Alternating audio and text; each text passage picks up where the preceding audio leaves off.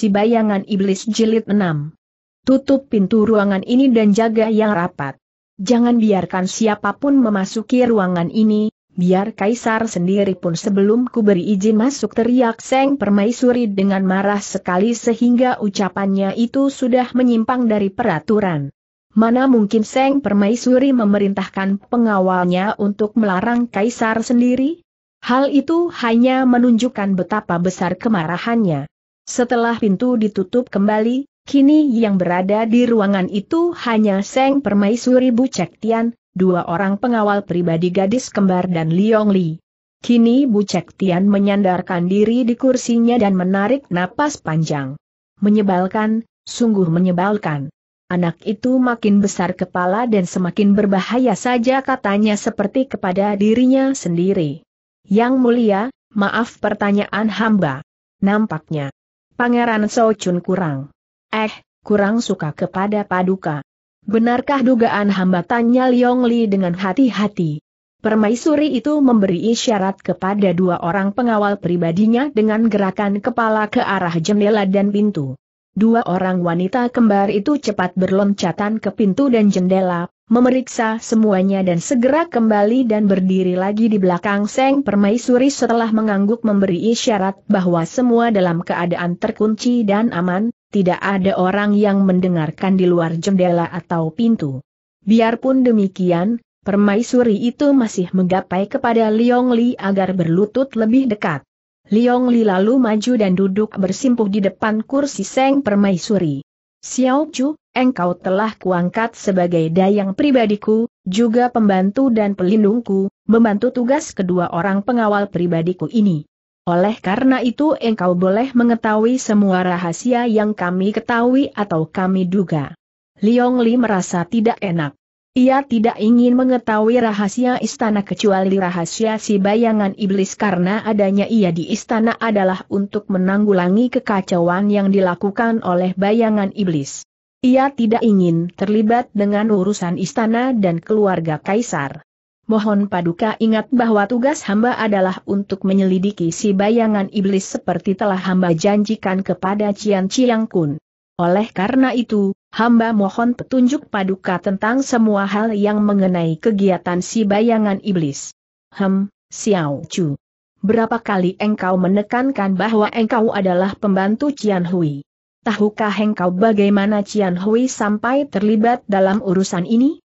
Akulah yang mendesak Kaisar untuk memanggil dia dan menyerahkan tugas ini kepadanya. Dan Kaisar telah menyerahkan kepadaku untuk mengatur semua penyelidikan ini sampai berhasil.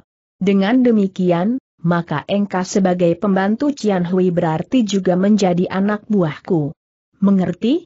Diam-diam Liong Li terkejut. Cian Ciang Kun tidak pernah bercerita tentang ini kepadanya.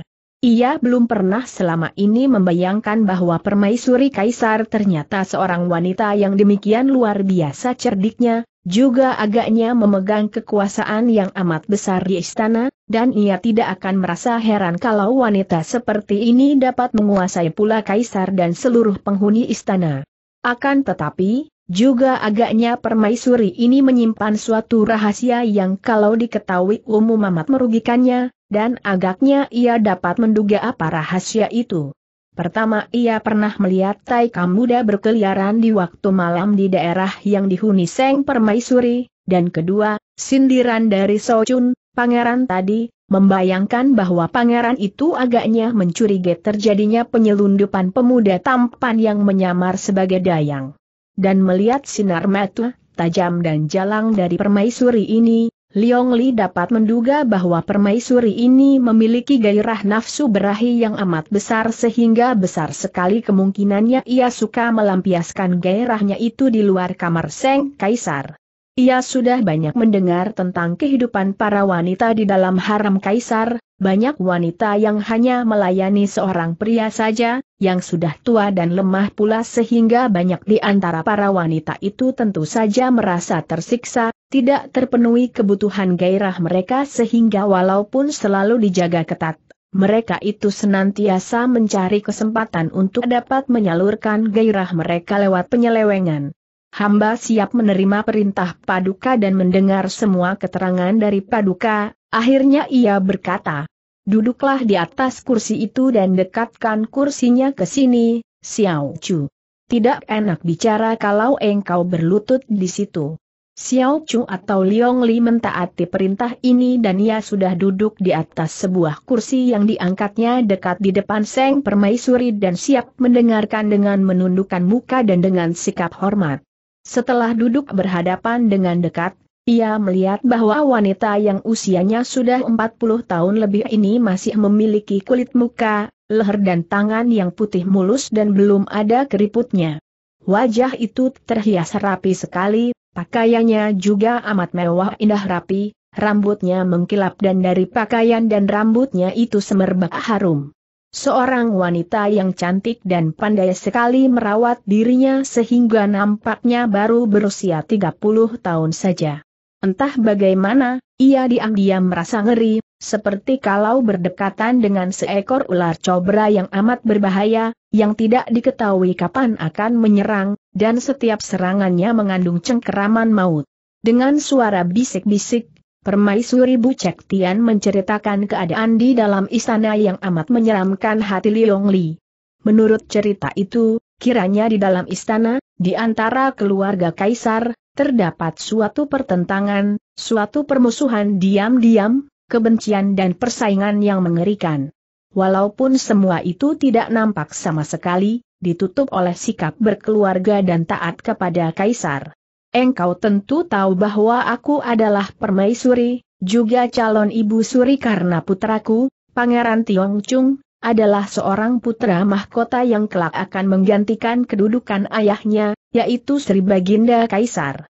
Namun, di samping putraku sebagai putra mahkota, masih terdapat banyak lagi pangeran lain, juga putri-putri kaisar dan mantu-mantu kaisar. Mereka semua itu saling bersaing untuk mendapatkan kedudukan tertinggi, saling berlomba untuk mengambil hati Sri Baginda Kaisar dan untuk itu mereka tidak segan-segan untuk saling melempar fitnah, bahkan saling serang secara terbuka, tentu saja tidak di depan Sri Baginda Kaisar. Sri Baginda Kaisar terlalu sibuk dengan urusan negara sehingga tidak ada waktu lagi untuk memusingkan diri tentang urusan keluarga sehingga keadaan keluarga kami menjadi semakin kacau. Dan di dalam kekacauan ini, tiba-tiba saja muncul peristiwa pembunuhan-pembunuhan yang misterius itu. Permaisuri Bucek Tian menghela napas panjang dan ia nampak khawatir, dan baru sekarang Liong Li melihat wanita yang cerdik dan pandai itu nampak gelisah, tidak disembunyikan lagi. Akan tetapi, yang mulia, apa hubungannya pembunuhan-pembunuhan yang kabarnya dilakukan oleh si bayangan iblis itu dengan persaingan di antara keluarga kerajaan Liong Li memancing? Memang tadinya kami menganggap bahwa itu hanya merupakan persaingan yang terjadi di antara para pejabat tinggi di kota raja yang saling memperebutkan kedudukan. Akan tetapi, semakin lama keadaannya menjadi semakin mencurigakan. Bahkan keselamatan diriku sendiri terancam. Kini wajah permaisuri itu menjadi pucat dan hal ini tidak dilewatkan oleh pandang mata Liong Liang tajam. Pernahkah ada serangan yang ditujukan kepada Paduka? Seng Permaisuri menjebikan bibir bawahnya yang merah dengan sikap menghina. Mereka takkan mampu. Kalau saja mereka berani memperlihatkan diri, pasti akan dapat tertangkap. Pasukan pengawalku cukup kuat, ditambah pasukan rahasia, dan masih ada lagi Ricu dan BHWA. Akan tetapi pada suatu malam pernah Bicu dan Bihwa mendengar suara mencurigakan di luar kamarku di taman. Mereka mengejar, akan tetapi bayangan itu melarikan diri dan meninggalkan sebatang senjata rahasia beracun yang agaknya tercecer. Ah, kalau begitu menurut Paduka, si bayangan iblis itu berada di dalam istana? Permaisuri itu menggeleng kepalanya, aku tidak tahu. Mungkin pemimpinnya berada di istana, mungkin juga yang berkeliaran di istana itu hanya anak buah saja. Siapa tahu. Tugas mulah untuk menyelidikinya. Yang jelas, istana ini telah dijamah oleh tangan gerombolan penjahat yang mungkin saja dipergunakan orang yang memperebutkan kedudukan dan mereka memiliki orang-orang yang berkepandaian tinggi.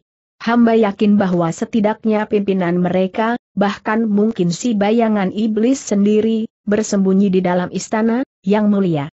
Bagaimana engkau dapat yakin? Cian Ciang Kun bukan seorang bodoh dan dia sudah menyebar para penyelidiknya di kota raja, namun tak pernah dapat menemukan jejak si bayangan iblis. Hal itu membuktikan bahwa si bayangan iblis tentu mempunyai tempat persembunyian yang tidak dapat dimasuki para penyelidik, dan tempat seperti itu, di mana lagi kalau bukan di Elistana? Dan setelah mendengar keterangan Paduka, hamba yakin bahwa dia berada di dalam istana induk, di bagian putra. Hem, bagaimana engkau dapat menduga begitu? Yang mulia, kalau kepala penjahat itu berada di istana bagian putri, Bagaimana mungkin dia dapat lolos dari pengamatan paduka yang arif bijaksana? Bersinar sepasang metu yang indah itu karena ia yakin bahwa ucapan itu bukan sekedar pujian kosong belaka. Xiao Chu, engkau memang cerdik sekali. Dugaanmu sama dengan dugaanku, kalau si bayangan iblis benar bersembunyi di dalam istana, tentu dia berada di bagian putra. Hamba tahu dan yakin kebijaksanaan dan kecerdikan paduka. Apakah Paduka telah menemukan orang yang Paduka curigai, yang patut menjadi si bayangan iblis?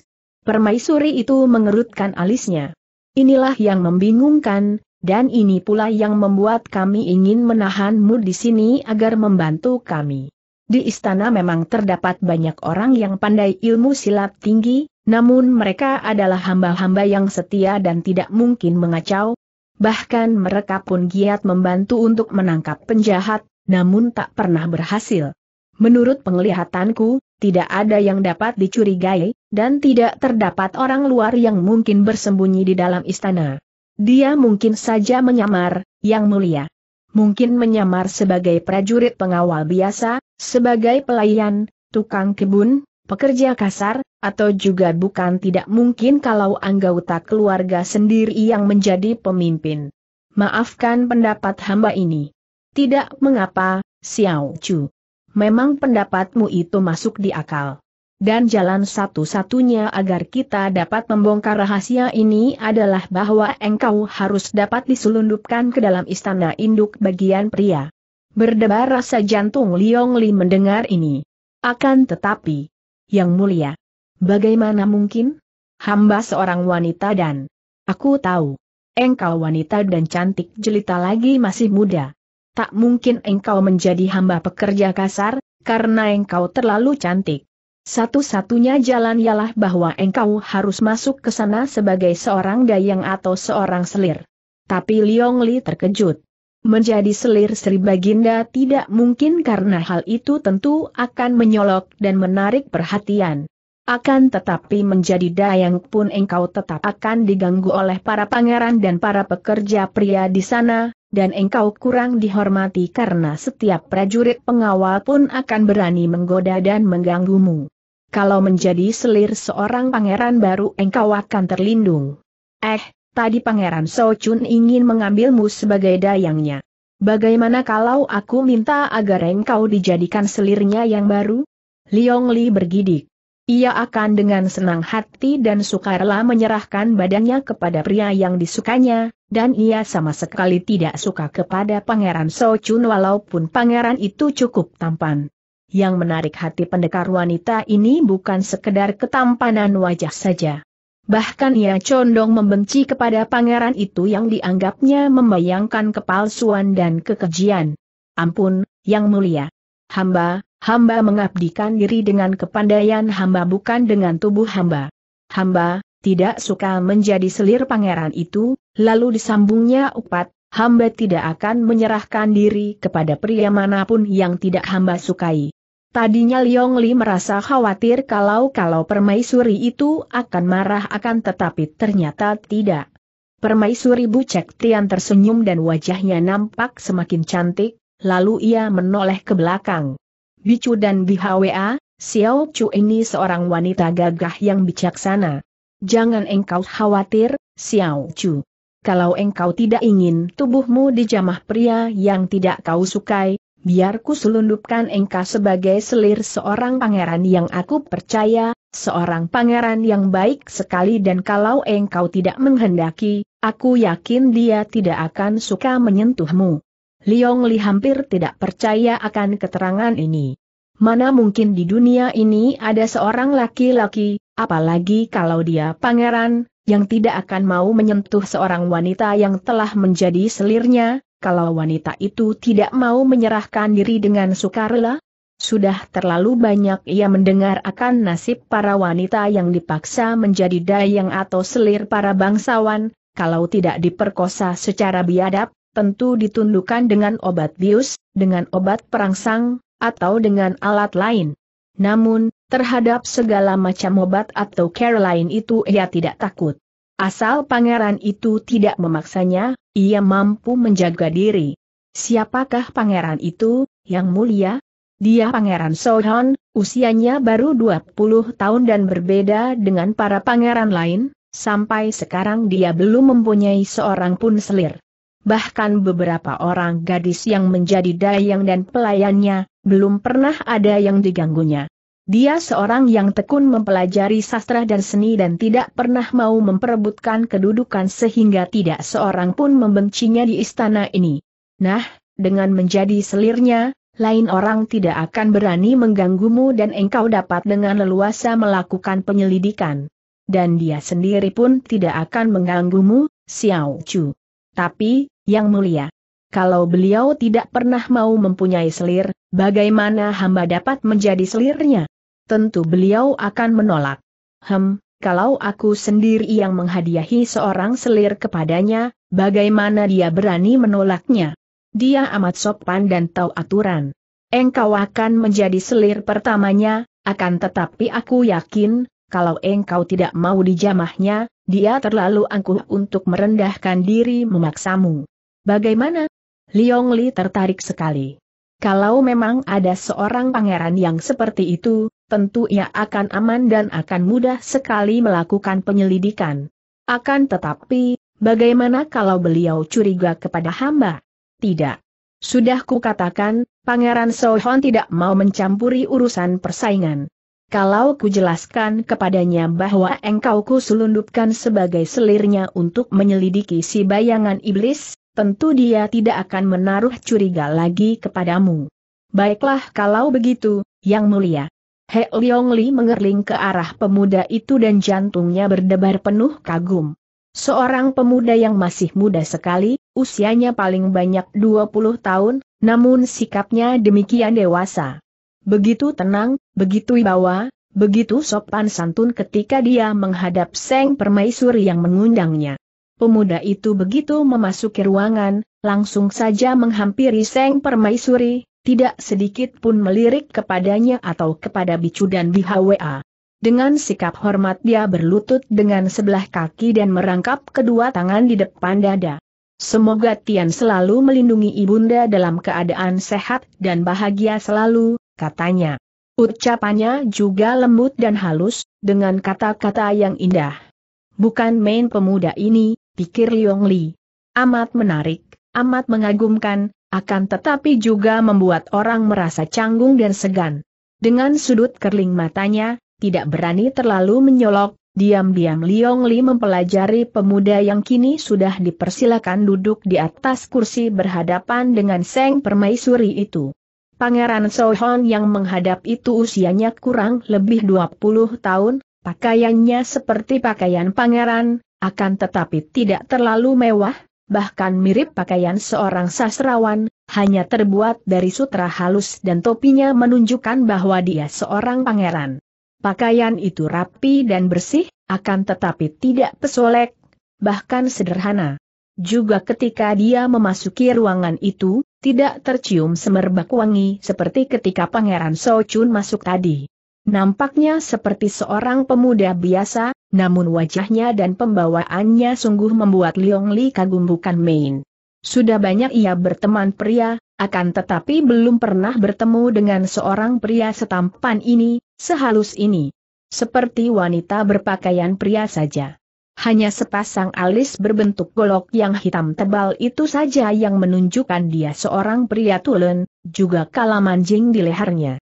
Wajahnya berkulit demikian putih halus seperti dibedaki saja, dan kedua pipinya merah jambon seperti buah tomat, segar seperti pipi gadis remaja saja.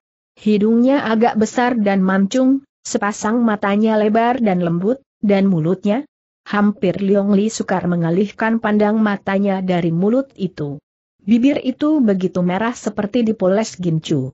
Akan tetapi tidak, bibir itu memang merah karena segar dan sehat. Ih, kau metu keranjang, Liong Li memaki diri sendiri dan ia pun menundukkan pandang matanya yang tadi melekat di pipi dan bibir itu.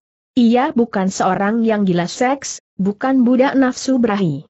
Ia hanya mau bermain cinta dengan pria yang benar-benar disukanya, bukan sembarang lelaki asal tampan saja. Akan tetapi ketampanan pangeran muda ini sungguh membuat ia terpesona, bukan membangkitkan gairah, hanya membangkitkan kagum dan heran mengapa di dunia ada seorang pria yang demikian tampannya. Seperti gambar saja. Anakku Pangeran Sohon yang baik, Sungguh engkau menyenangkan sekali hatiku. Terima kasih, Pangeran. Dan engkau juga nampak sehat. Bagaimana dengan pelajaranmu? Aku mendengar engkau rajin sekali mempelajari sastra dan seni. Berkat doa Ibunda Permaisuri, hamba memperoleh kemajuan dan dapat menikmati ilmu yang hamba pelajari. Air, Sohan. Lain kesempatan ingin sekali aku mendengarkan permainanmu yang Kim dan Suling, juga ingin sekali mendengarkan engkau bersajak atau melukis. Akan tetapi sekarang, aku mengundangmu untuk suatu urusan yang penting sekali. Wajah yang tadinya menunduk dan hanya memandang ke arah sepatu ibu tirinya itu, kini diangkat dan sepasang mata yang lembut itu menatap wajah Seng Permaisuri dengan penuh pertanyaan. Belum pernah dia mempunyai urusan penting dengan Permaisuri atau dengan siapa saja. Setiap hari dia hanya sibuk dengan urusan pelajaran sastra dan seni. Ada urusan yang penting apakah, Ibunda? Anakku, Souhon, katakan dulu. Maukah engkau menolong aku?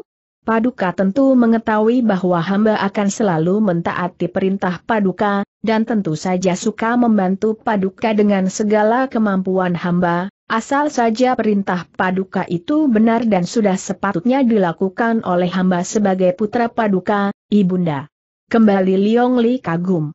Jawaban itu demikian tepat dan benar, akan tetapi juga halus sehingga tidak akan menyinggung.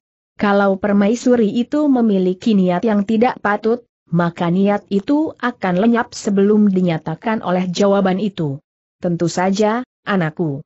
Dengar baik-baik engkau tentu telah tahu akan kekacauan yang terjadi oleh ulah apa yang dinamakan KWI Engcu, si bayangan iblis, bukan? Biarpun sikapnya tetap tenang, namun Liong Li melihat betapa pangeran itu terkejut mendengar disebutnya nama itu. Ibunda Permaisuri, hamba sudah mendengar akan tetapi hamba tidak mencampuri urusan itu yang seharusnya ditangani oleh para petugas keamanan. Memang benar, anakku. Akan tetapi sampai kini usaha para petugas keamanan itu belum juga berhasil dan engkau tentu tahu berapa banyaknya korban yang telah jatuh. Apakah tidak sudah sepantasnya kalau engkau sebagai seorang pangeran ikut pula membantu agar penjahat yang membuat kekacauan itu tertangkap? Pangeran itu memandang heran, sepasang matanya yang lebar itu terbelalak dan nampak indah. Ibunda yang mulia, Bagaimana seorang seperti hamba dapat membantu penangkapan seorang penjahat yang demikian lihainya? Engkau bisa, anakku. Bahkan justru kepadamulah aku menggantungkan harapan akan berhasilnya usaha kami untuk membongkar rahasia si bayangan iblis itu. Kau lihat wanita ini Seng Permaisuri menunjuk ke arah Liong Liang masih duduk dengan kepala tunduk. Ia adalah dayangku yang ku percaya penuh bernama Xiao Chu. Ia seorang wanita yang memiliki ilmu kepandaian silat tinggi dan ialah yang kutugaskan untuk menyelidiki si bayangan iblis, bahkan menangkapnya. Akan tetapi hal itu tidak mungkin dapat ia lakukan kalau ia tidak diselundupkan ke dalam istana induk, di bagian putra. Eh, jadi menurut ibunda, si bayangan iblis itu berada di dalam istana Seng Pangeran benar-benar terkejut sekarang. Itu baru dugaan kami, anakku. Oleh karena itu untuk menyelidiki benar tidaknya dugaan itu, kami ingin menyelundupkan Xiao Chu ini ke sana. Dengan demikian, ia akan dapat melakukan penyelidikan dengan leluasa. Lalu apa hubungannya dengan bantuan hamba, Ibunda? Agar jangan menimbulkan kecurigaan komplotan si bayangan iblis, ia akan kuselundupkan ke sana sebagai selirmu, pangeran. Ahaha wajah yang berkulit putih kemerahan itu kini menjadi merah sekali dan pangeran itu menoleh kepada Liong Li. Sejenak pandang mati mereka bertemu, akan tetapi melihat betapa pangeran itu menjadi merah mukanya seperti seorang perawan dilamar, Liong Li menjadi tidak tega dan ia pun cepat menunduk. Bagaimana mungkin, Ibunda? Paduka mengerti bahwa hamba, hamba tidak mempunyai selir dan belum ingin punya selir. Kenapa tidak ibunda berikan saja kepada para kakak pangeran lain yang mempunyai banyak selir? Permaisuri Bucek Tian menggeleng kepala. Aku tidak percaya kepada siapa pun lagi di sana kecuali Sri Baginda Kaisar dan engkau, anakku. Kalau ku berikan kepada putraku, Pangeran Tiong Chung, akan lebih mencurigakan lagi. Hanya engkaulah satu-satunya orang dapat ku percaya, Pangeran. Demi ketenteraman istana, bahkan kota raja dan negara, bantulah kami. Terimalah Xiao Chu sebagai selirmu. Tapi-tapi ah, ibunda. Bukan hamba tidak ingin membantu. Akan tetapi selir? Bagaimana kalau ia hamba terima sebagai dayang saja? Seorang dayang baru? Hamba sudah mempunyai lima orang gadis dayang, kalau ditambah seorang lagi tentu tidak mencurigakan. Akan tetapi kalau menjadi dayangmu, Xiao Chu harus tidur bersama para dayang lainnya dan hal ini membuat ia tidak leluasa melakukan penyelidikan, anakku. Kalau sebagai selirmu, tentu boleh tinggal di kamarmu, dan malamnya ia dapat melakukan penyelidikan tanpa dicurigai orang lain. Tapi, tapi, Ibunda, dengar dulu, Souhan anakku. Aku sudah mendengar bahwa engkau tekun mempelajari sastra dan seni, dan mendengar bahwa engkau sampai sekarang belum pernah dan belum suka bergaul dengan wanita sehingga belum mempunyai seorang pun selir. Akan tetapi, jangan engkau mengira bahwa Xiao Chu akan menjadi selirmu yang sungguh-sungguh. Kalau begitu, ia pun tidak akan mau. Kalau ia mau menjadi selir sungguh-sungguh, tentu persoalannya lebih mudah dan ia sudah kuselundupkan menjadi selir Pangeran Chun yang menginginkannya. Akan tetapi ketahuilah, anakku, Xiao Chu ini adalah seorang pendekar wanita. Ia bertugas menyelidiki dan menangkap si bayangan iblis dan ia pun hanya mau diselundupkan sebagai selir asal tidak diganggu pria mana pun. Jadi, kalau menjadi selirmu sudah cocok. Engkau tidak ingin menjamahnya, dan ia pun tidak ingin disentuh pria. Engkau hanya mengakuinya saja sebagai selir, menyembunyikannya di kamarmu dan malamnya engkau biarkan ia melakukan penyelidikan. Nah, tepat, bukan? Kini pandang mata pangeran itu mengamati Liong Li dengan penuh perhatian dan agaknya dia tertarik sekali. Belum pernah selamanya dia mendengar ada seorang wanita yang tidak mau dijamah pria, apalagi pangeran. Dan di samping keheranannya, dia pun kagum. Kalau begitu, tentu saja hamba tidak berkeberatan, Ibunda Permaisuri. Walaupun tentu hamba akan digoda setengah mati oleh para pangeran lainnya, kemudian ditambahkannya sambil mengerling ke arah Liong Li, dan asal saja ia tidak mengganggu pelajaran hamba. Liong Li menahan senyumnya, mengangkat muka memandang pangeran itu dan berkata, Harap paduka tenangkan hati, pangeran. Hamba berjanji tidak akan mengusik atau mengganggu paduka sedetik pun. Kembali dua pasang mata bertemu dan agaknya pangeran itu bergidik ketika melihat sepasang mata yang demikian indah dan jelitanya, juga yang mempunyai sinar mencorong, seperti maco harimau di malam hari. Nah, sekarang juga bawalah Xiao Chu bersamamu pangeran. Dan agar tidak menimbulkan kecurigaan, Xiao Chu harus berdandan lebih dulu seperti layaknya seorang gadis yang baru saja diboyong oleh seorang pangeran, dan biar diantar oleh enam orang dayang pribadiku sehingga orang-orang akan tahu bahwa selir yang kau bawa merupakan hadiahku untukmu. Liong Li diajak masuk ke dalam kamar oleh seorang dayang yang dipanggil masuk dan ketika wanita ini merias dirinya di depan cermin, jantungnya berdebar tegang. Ia akan hidup sekamar dengan seorang pemuda yang demikian tampannya. Hem, tentu membutuhkan pengerahan tenaga batin yang kuat agar jangan sampai tergugah gairah kewanitaannya. Kalau pangeran ini bersikap lain, misalnya seperti pangeran Chun yang matu keranjang itu, tentu ia tidak perlu khawatir akan perasaan hatinya sendiri karena ia yakin bahwa sikap seorang pria seperti itu, yang matu keranjang dan kurang ajar, tentu tidak mungkin akan mampu menimbulkan gairahnya. Akan tetapi Pangeran Sohon ini, hem, jantungnya berdebar tegang juga dan ia harus berhati-hati sekali menjaga dirinya sendiri. Setelah Liong Li menyisir rambutnya, mengenakan pakaian yang lebih indah daripada pakaian pelayan ketika ia menyamar Akim, lalu mengenakan bedak tipis dan membasahi kedua bibirnya dengan lidah, Dayang yang tadi mengantarnya berias, memandang kagum. Nona, sungguh cantik jelita, kata Dayang itu. Liong Li tersenyum memandang kepada Dayang itu, seorang gadis yang usianya paling banyak 18 tahun dan berwajah manis sekali. Kalau berada di sebuah dusun, tentu gadis ini dapat menjadi kembang dusun yang menjadi rebutan semua pemuda.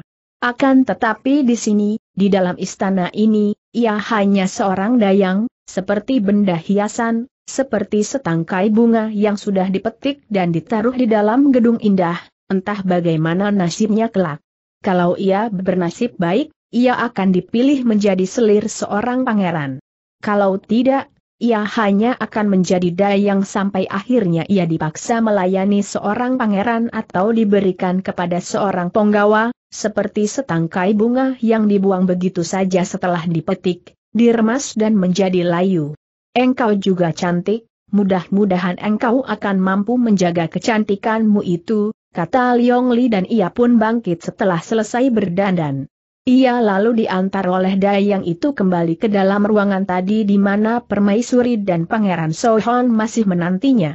Permaisuri Bucek Tian mengangkat mukanya dan jelas sekali nampak kekaguman pada matanya ketika ia melihat Liong Liang kini berdandan sebagai seorang selir, dengan pakaian yang lebih mewah dan lebih indah dibandingkan pakaian seorang dayang.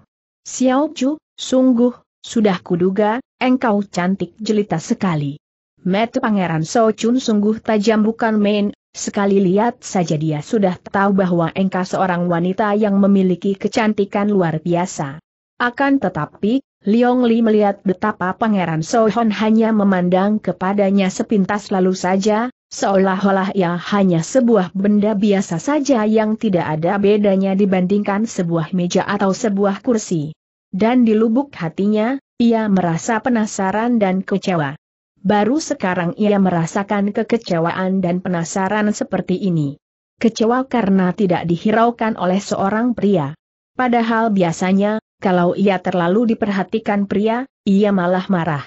Ibunda Permaisuri, hamba hanya mentaati perintah paduka Ibunda, hanya untuk memberi tempat persembunyian kepada Nona, eh, Xiao Chu ini. Akan tetapi, hamba hanya dapat memberi waktu seminggu saja. Kalau sudah seminggu, hamba harap paduka mengambilnya kembali agar hamba tidak terlalu terganggu.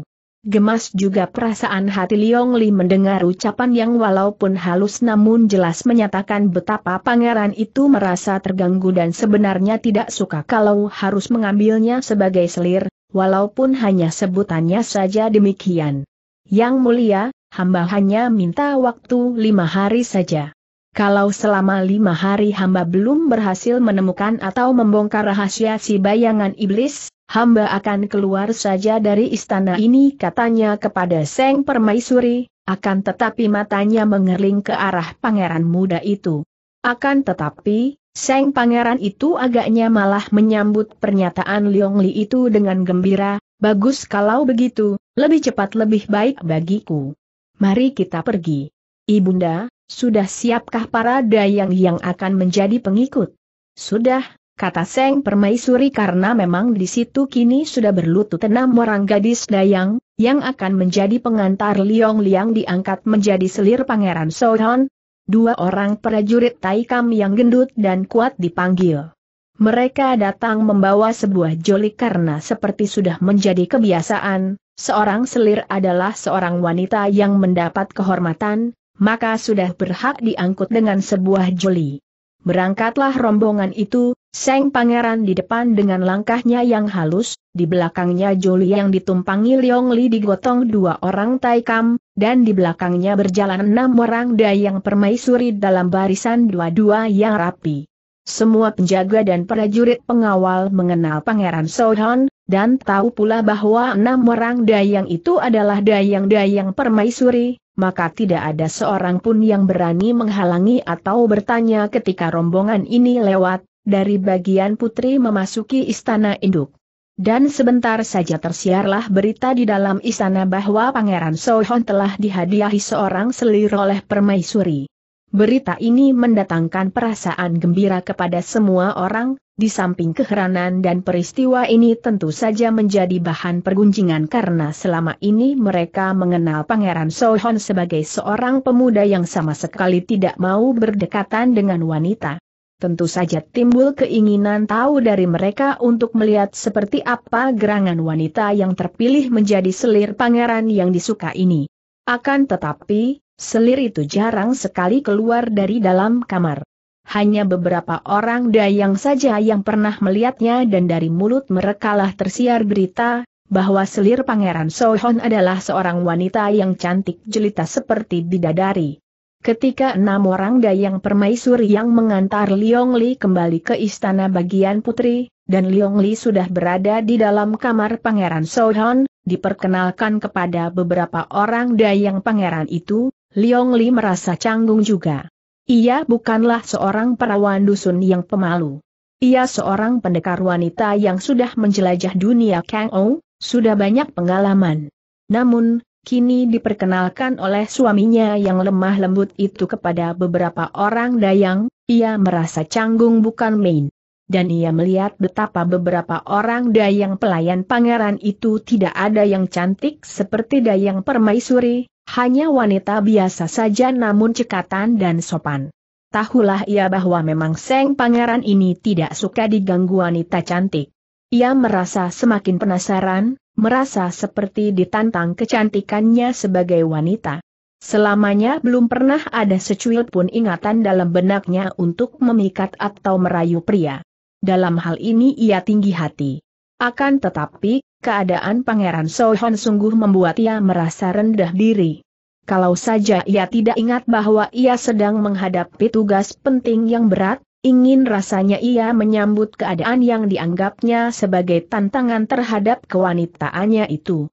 Ingin rasanya ia menjatuhkan hati pangeran yang tinggi hati terhadap wanita itu agar pangeran itu tahu bahwa ia adalah seorang wanita sejati, seorang wanita cantik jelita yang membuat banyak pria terpesona, dan agar pangeran itu tidak memandangnya sebagai sebuah kursi atau meja saja.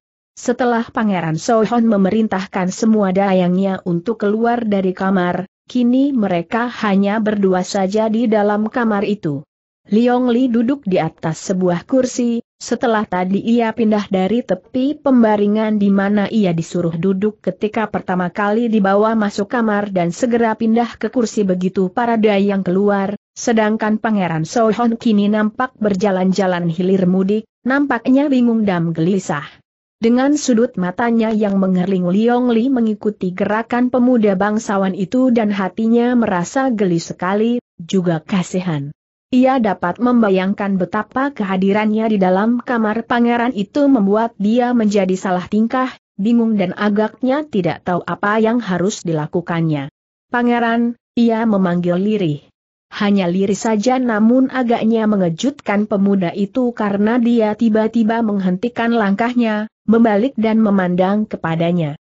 Tidak menjawab, hanya memandang dengan penuh selidik. Mulutnya yang indah itu, dengan bibirnya yang merah segar, nampak agak cemberut, membuat Liong Li menjadi semakin geli. Pangeran, saya, saya tidak ingin mengganggu paduka. Biarlah saya mengundurkan diri, di manakah saya harus tinggal? Di mana kamar saya? Di mana lagi pangeran itu berkata, bukan menjawab melainkan bertanya, dan mulutnya makin meruncing cemberutnya. Aku tidak seperti para pangeran lain yang mempunyai banyak kamar. Kamarku hanya sebuah ini, ku bikin cukup luas. Ini kamar tidurku, kamar kerjaku, kamar belajarku, kamar makan, kamar bersantai. Di sebelah itu kamar para dayang. Di mana lagi kau dapat tinggal? Pangeran itu menghela napas panjang, lalu menjatuhkan diri duduk di atas sebuah kursi. Mereka duduk berhadapan, dalam jarak lima meter, saling pandang. Liong Li tersenyum simpul, Pangeran Sohon cemberut. Liong Li mengerling ke kanan kiri. Kamar itu memang luas, seperti empat buah kamar dijadikan satu, dan karena ruangan yang luas itu maka hawanya sejuk dan menyenangkan. Hanya ada sebuah tempat tidur di situ, yang didudukinya tadi. Tempat tidur yang bersih dan cukup lebar, cukup untuk empat orang dan longgar sekali kalau hanya untuk dua orang. Ada meja kursi makan, meja kursi duduk, almari penuh buku, almari pakaian, pot-pot kembang, lukisan dan sajak-sajak dengan tulisan indah bergantungan. Lantainya bertilam permadani tebal. Sebuah kamar yang enak ditinggali. Apalagi berdua dengan seorang pangeran seperti itu. Sayang muka yang tampan itu kini muram dan mulut yang indah itu cemberut. Tempat tidurnya, hanya sebuah ia bertanya, hanya untuk memancing percakapan karena tanpa bertanya pun sudah jelas bahwa di situ hanya ada sebuah tempat tidur. Pangeran itu mengangguk. Tentu saja hanya sebuah.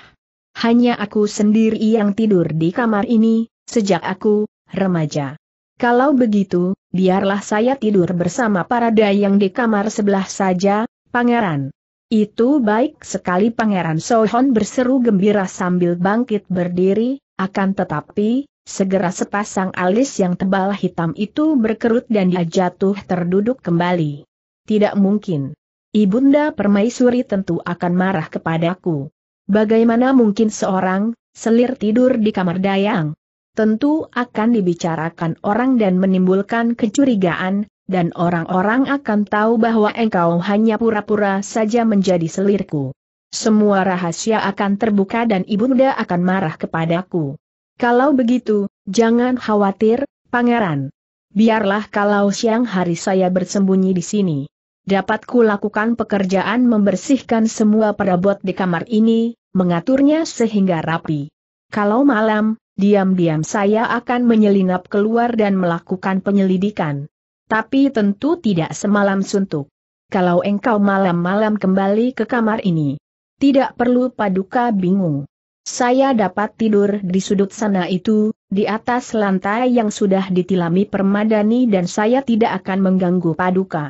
Paduka tidurlah seperti biasa di atas pembaringan paduka dan Tiba-tiba pangeran itu bangkit berdiri dan memandang kepada Liong Li dengan mata bersinar dan alis berkerut.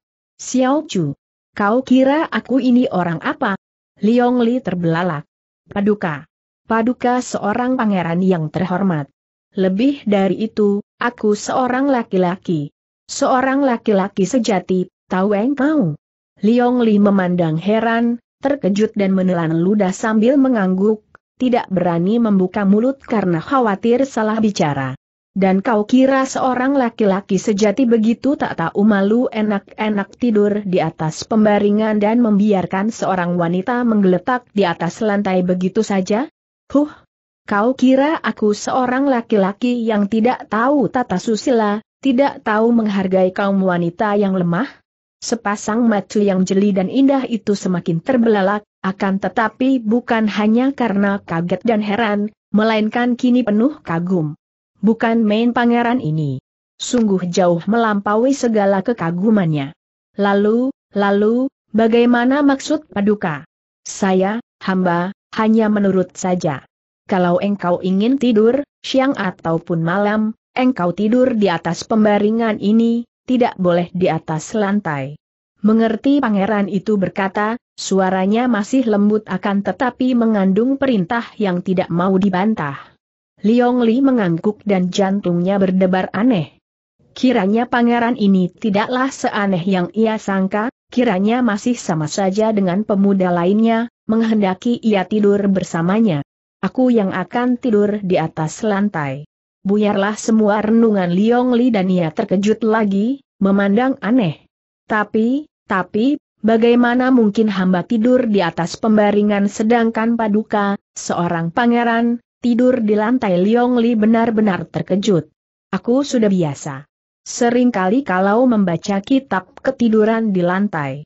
Kalau hawa udara panas aku pun tidur di lantai. Mengapa? Engkau wanita, sudah sepatutnya mendapat tempat terbaik. Liong Li menjadi bengong. Kalau saja ia seorang wanita cengeng tentu ingin ia menangis saat itu.